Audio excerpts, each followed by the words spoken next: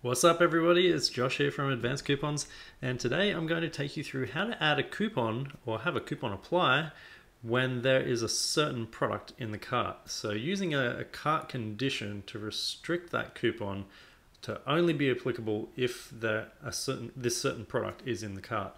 And you can do this um, with multiple products in the cart. You can do it with just one product. Uh, I'm going to show you exactly how to do that with advanced coupons. So in uh, in WooCommerce, the default coupons they don't generally have this kind of feature. Um, you can restrict a coupon based on uh, certain products being there, but it's it's not near as sophisticated as you need um, to be able to use it effectively. So I've got this uh, this test site here that I'm, I'm just uh, demoing this on. I'm going to create a new coupon code, and you'll notice down the side here we've got a whole bunch of extra stuff um, beyond just the standard WooCommerce features. So this is uh, introduced by an extension for WooCommerce called Advanced Coupons, and you can find that at advancedcouponsplugin.com. Now, the feature that we need is called a cart condition. So I'll just give my coupon a name. I'll call it example. And I'm going to make this a $10 fixed cart discount. But I only want this cart, uh, I only want this, uh, this coupon to be applicable if there is a certain product in the cart. Now, I do this with a cart condition restriction. So in cart conditions, you can actually add multiple groups of conditions. So this is uh, defining things that need to be true in the cart before that coupon is allowed to be applied. So when they type in the coupon code, it will actually go through the cart as it exists at the moment, and it will check for these conditions to make sure that it's correct before it lets the user apply the coupon. So you can see how that would uh, kind of help you enforce a deal um, rather than just giving out a coupon and hoping they, they use the, the correct uh, combination of products in the cart. This will actually make them use it. So you add a condition group there and you can add a condition. The one we're wanting is product quantity in the cart today. Um, you can see there's lots of other conditions there as well, um, but we'll just focus in on this one here. We'll, we'll do some other videos for all these other uh, conditions. So you can add that. So adding this, this condition into this condition group and what I want to do is look for a product. So let's just open up this products list here and we will choose a product. So this is the product that we want to make sure that the, product is in the cart before they can um, before they can actually use it. So let's do a beanie, a WooCommerce beanie. So I go in here, I'll just search for the beanie so WooCommerce Beanie, so Woo Beanie was the one we are after. And I want to make sure that there is more than, well, you, you can choose which, uh, which condition you want. So you can have it match exactly to one quantity or exactly to whatever specific quantity that you want. You can have it choose anything except so that would be handy if you had anything except for one quantity. So it could um, basically match anything. Other than that, you can do more than or less than as well. So I could say uh, more than quantity one. So that will make sure that there's always two or more of these beanies in the cart before it will actually apply. So I want to have um, two or more of those beanies in the cart. So once you see it in this table here, that means it's going to test it. And you can add multiple conditions here. Like if I wanted to, I could also say um, that they need to have some sunglasses in the cart too. In fact, let's go and have a look at that. And this will show you exactly how it gets more powerful when you can combine these these conditions together. Um, it can yeah you can really add up uh, the rules and and conditions that you need to, to be satisfied before this coupon can be applied, which makes you makes it easier for you as the store owner to to apply a specific kind of deal. So let's go with, with uh, sunglasses and we'll say the same thing. So more than two. So they can either, they can have, uh, as long as they have a beanie in the, at least two or more beanies in the cart and at least two or more sunglasses in, in the cart, so more than one, um, then they'll be able to apply the coupon. So let's go ahead and publish this coupon here.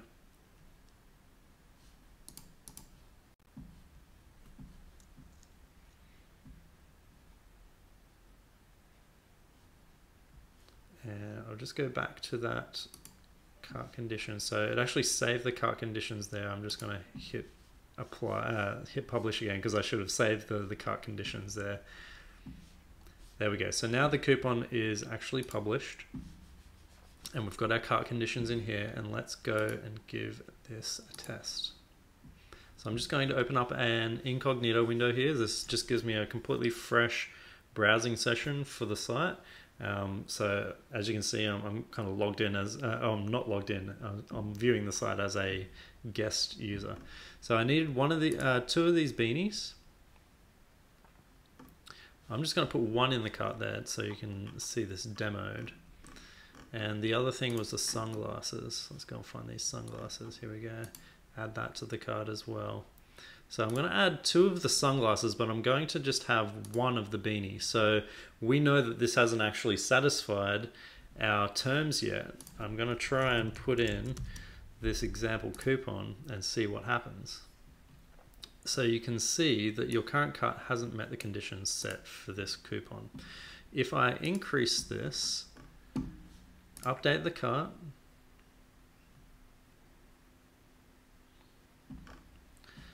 and try the coupon code again, it should apply. So there we go. Coupon code has been applied successfully and it's because we have the beanie at quantity 2, so that's more than 1, or and the sunglasses at more than 1 as well. Now if I drop one of these down, let's see what happens. So now that I've dropped it down and the cart conditions haven't been met, it actually invalidates the coupon. So the coupon example is invalid, it's now been removed from your order. And this is how it gets, um, how you enforce your deal essentially. So with the cart conditions, they must be true before they can actually go through the checkout and check out with that coupon on that order. So let's um, let's just explore a couple of other um, ideas with this uh, with this coupon with this condition group. So that's the basic idea of how this this works. And now that we're back in the back end here, I'm going to go ahead and remove one of these.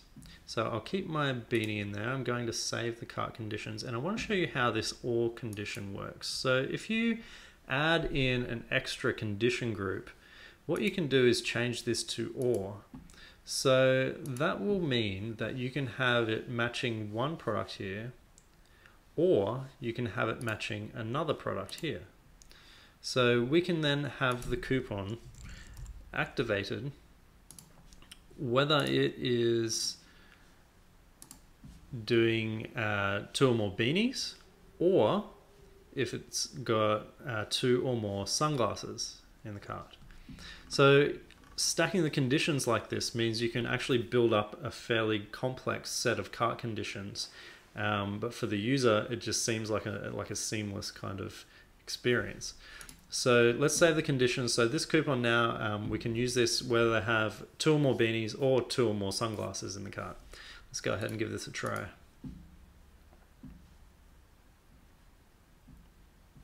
So let's first add the beanie. I'm going to add a second beanie in the cart there.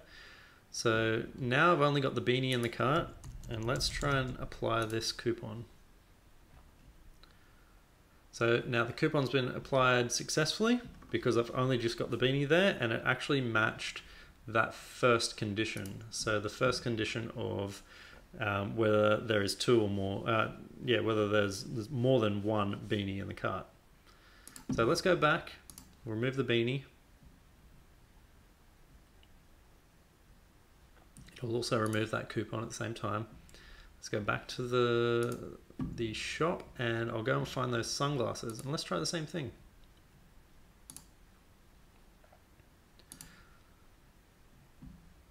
So now we've got two sunglasses in the cart, which satisfies the more than one condition.